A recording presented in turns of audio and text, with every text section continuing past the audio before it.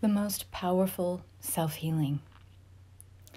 To set the record straight, all healing is self healing. Because it ultimately depends on our permission we give to ourselves, the decision that we make in our inner reality that we're going to shift our energy, that we're going to heal, that we're going to allow ourselves to move into a higher vibration. This is something we decide, no matter what stimulus might be outside of us. That is never what provides the healing. It might facilitate it, it may guide it, but something outside of us never has the healing power. The healing power is within. We all have this. We are all sovereign agents of Source with the ability to self heal. And if you don't believe this, I invite you to try something over the next week. Try doing this three or four nights in a row, even five nights in a row. You can also do this as part of your meditation practice, but I recommend that trying this when you go to sleep at night, the last thing you do before you drift off to sleep is to activate your God self avatar and do this profound self healing. When we are asleep, we are in full subconscious mode and we tend to have less resistance from the conscious mind when we do this kind of healing when we're during dream time. So, all you have to do is create an intention for what you want to heal.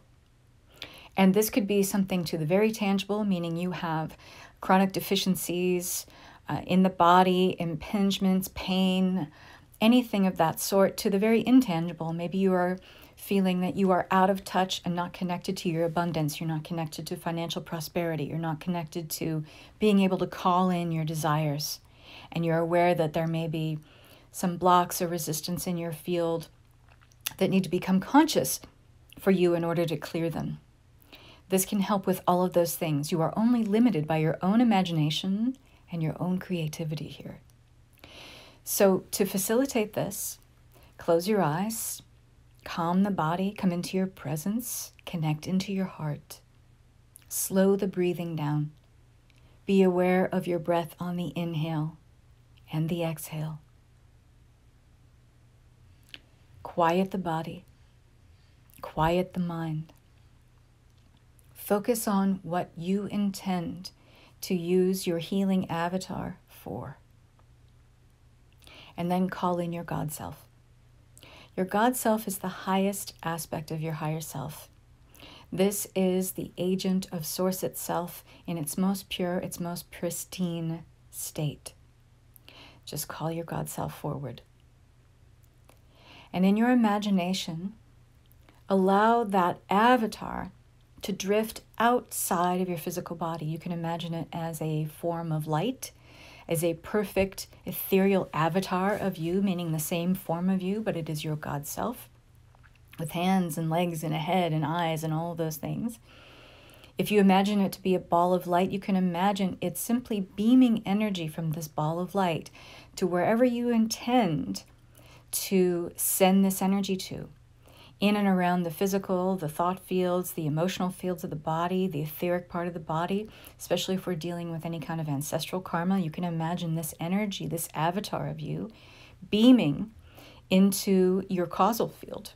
Okay? Again, you're only limited by your own imagination and your own creativity and how you want to conduct this avatar healing from your God self.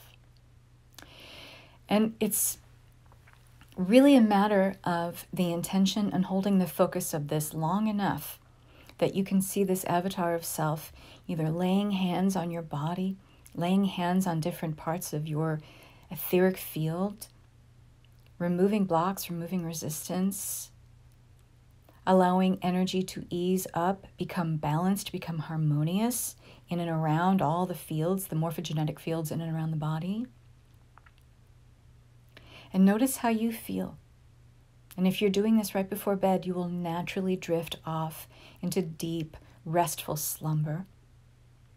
And you can simply allow the intelligence of this energy to conduct its own investigation, exploration, and clearing on its own.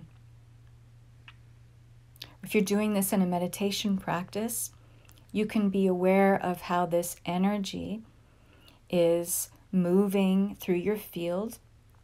And you, you can be more consciously connected to this healing experience if you would like that as well. There's no hard and fast rules to this. But it is about knowing, not believing. It is about knowing that healing is self healing, that you are the facilitator, you are the guide, you are the one that conducts and intends the energy to be healed, moved, shifted, upgraded, whatever. Notice how you feel when you do this. Notice what kind of messages or information comes in. Jot down or journal on what your experience is. If there are themes of emotional detachment that need to be tackled in your conscious shadow work or shadow healing journey, be cognizant and aware of how you feel shifts in this body. Are you aware that when you're working on blocks or resistance about your financial prosperity or calling in abundance, that you feel it in a specific body part? Is it in the belly, in the knee, in the big toe, in the back, the lower back, behind the head? Notice this. Have awareness of it. Be a conscious investigator of this energy and wherever the energy leads you to look further and to go deeper into your own healing journey. Notice that you have the power to do this, and notice how empowering it is when you connect with yourself on this level.